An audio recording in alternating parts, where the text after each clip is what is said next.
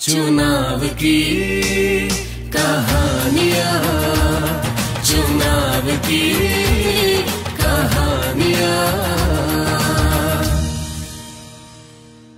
ये सच्ची कहानी है देश के पूर्वोत्तर राज्य, अरुणाचल प्रदेश में बसे गाँव के मतदाताओं की।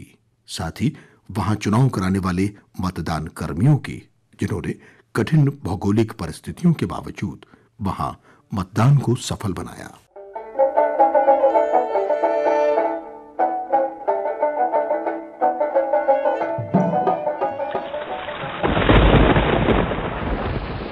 रास्ता है कि खत्म होने का नाम ही नहीं लेता। कभी ऊपर तो कभी नीचे चलता ही जाता है। और कितना रास्ता बाकी है, ये पता भी कैसे चले? हर तरफ़ पेड़ हैं और घास है, ना कोई सड़क है और ना ही कोई मार्ग चिन्ह। बताओ भला, इसके बावजूद सब अपने रास्ते पहुँच जाते हैं। वो तो है साहब, ममई मुस्कुराते हुए बोला, साहब ये चांगला है 48 किलोमीटर दूर है चांगलांग से। शायद हमारे अरुणाचल प्रदेश का सबसे दूर बसा हुआ गाँव है। और अभी मानसून के कारण भी रास्ता थोड़ा और कठिन हो गया है। तिरप नदी का पानी उफान पर जो है, इसलिए ढलान फिसलन पट्टी सी बन गई है। मैं तो ममई के पीछे पीछे ऐसे चल रहा था जैसे कोई छोटा बच्चा अपने पहले कुछ कदम रखकर चलना सीख रहा हो। समझ नहीं पा रहा था पैर कहाँ रखूँ और हाथ कहाँ ले जाऊँ।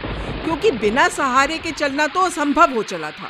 और दूसरी तरफ़ थे ये साहब ममई, जिनको देखकर ऐसा लग रहा था कि मानसून के पानी ने इनके पैरों को कुछ अलग ही चिपक दे दी है, जो ये फिसल ही नहीं सकते। इसीलिए तो ऐसे भागे जा रहे हैं कि हम तो डर से मरे जा रहे हैं कि कहीं आँखों से ओझल ही ना हो जाएँ।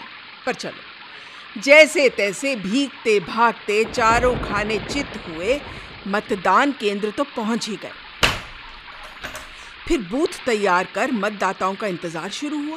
सुबह दस बजे तक तो दो ही वोट डले थे, पर दस बजे के बाद धीरे धीरे कच्चे रास्ते, फिसलन पट्टी सी पहाड़ियाँ लांगते चार घंटे का पैदल सफ़र करके भारत के नागरिक पहुँच ही गए संसार के सबसे बड़े जनतंत्र को और मज़बूत करने। इन रास्तों पर जहाँ न गाड़ियाँ चल सकती हैं, न और कोई आने जाने का साधन है।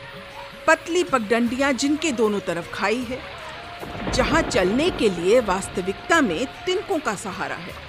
ऐसा भूखंड भी भारतीय होने का हक और अपने देश के प्रति प्रेम का जज्बा कम नहीं कर पाया। ये था चांगला।